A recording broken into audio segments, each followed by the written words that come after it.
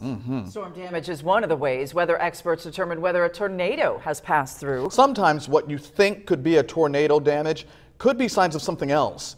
Storm Team 10's Brady Harp explains what a microburst is.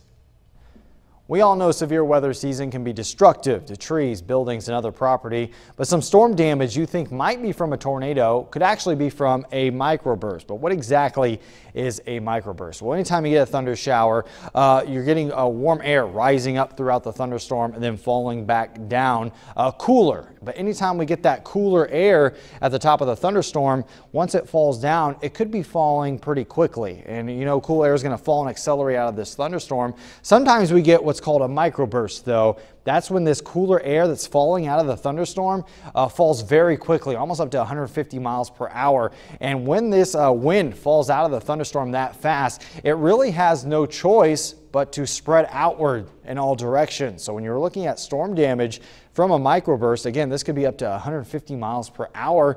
Uh, you're looking for trees kind of knocked over in all directions, kind of in a circle over the course of a wide area in some cases. So these can be pretty dangerous. So remember to stay informed during severe weather events. If you have any weather related questions you want to ask the storm team, be sure to contact us through email, Twitter, Facebook, or you know, WTHITV.com. We'll be happy to answer your weather related questions here on News 10.